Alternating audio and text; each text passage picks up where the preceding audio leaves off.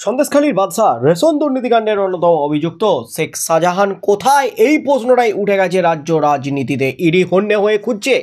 ED একেবারে চিরুনি তল্লাশি চালাচ্ছে। তার মধ্যেই লুক আউট নোটিশ জারি হয়েছে যাতে দেশ ছাড়তে না পারে সন্দেশখালীর বাদশাহ শেখ শাহজাহান। তার মধ্যেই ইডি কিন্তু সতর্ক করে দিয়েছে বিএসএফ সিআরপিএফ সহ কেন্দ্রীয় বাহিনীকে। কেন্দ্রীয় বাহিনীর জওয়ানরাও কিন্তু একেবারে চিরুনি তল্লাশি চালাচ্ছে। শাহজাহানের খোঁজে। তার মধ্যেই রাজ্যকে হুঁশিয়ারি দিয়েছেন রাজ্যপাল সিবি আনন্দ বোস। যে কোনো মূল্যে শেখ শাহজাহানকে গ্রেপ্তার করতে হবে। কেন গ্রেপ্তারি হলো না? দশ দিন পেরিয়ে গেছে। এই প্রশ্ন তুলে দিয়েছেন রাজ্যপাল সিবি আনন্দ বোস। চরম হুঁশিয়ারি দিয়ে দিয়েছেন রাজ্যকে। তার মধ্যেই কিন্তু এবার হুলস্থুল কাণ্ড।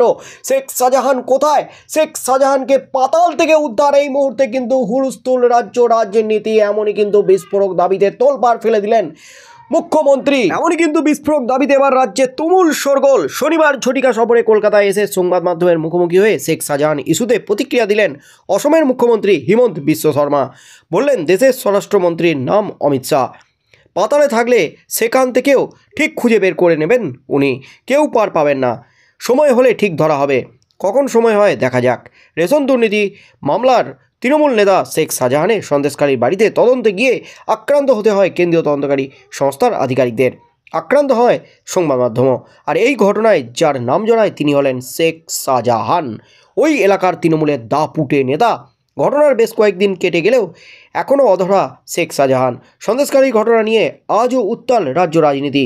শেখ শাহজাহানকে গ্রেপ্তারের দাবিতে রাজ্যের প্রধান বিরোধী দল বিজেপি সহ অন্যান্য বিরোধী শিবিরও সরব হয়েছে। সন্দেশকালীর ঘটনার পর এখনও নিখোঁজ শেখ শাহজাহান। বিরোধীরা প্রশ্ন তুলছেন, তার আত্মগোপনের নেপথ্যে তৃণমূল ও প্রশাসনের মদত নেই তো?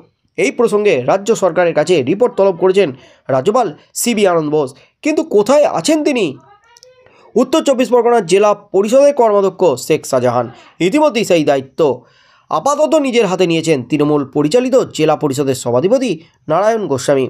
এর মধ্যে কয়েকদিন আগে তৃণমূল বিধায়ক সুকুমার মাহাতো বলেছিলেন, শাহজাহান নিজের এলাকাতেই আছেন, ঠিক সময়ে তিনি আদালতের দ্বারস্থ হবেন। তার আইনজীবীরা ইতিমধ্যেই আদালতের দ্বারস্থ হয়েছেন বলেও জানান সন্দেশখালীর বিধায়ক।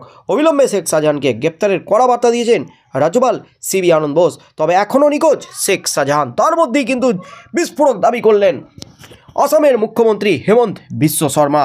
শেখ শাহজাহান পাতালে থাকলেও অমিত শাহ ঠিক খুঁজে বের করে নিয়ে আসবেন শেখ শাহজাহানকে।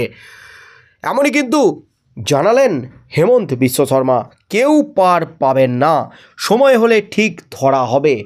সময় এলেই ধরা পড়বে শেখ শাহজাহান, এমনই কিন্তু দাবি করলেন হেমন্ত বিশ্ব শর্মা। তার মধ্যেই কিন্তু কেন্দ্র থেকেও এসেছে কড়া নির্দেশ, সন্দেশখালী কাণ্ডে। শেষ পর্যন্ত শাহজাহান কবে ধরা পড়ে, সেদিকেই চোখ থাকবে রাজ্য রাজনীতির।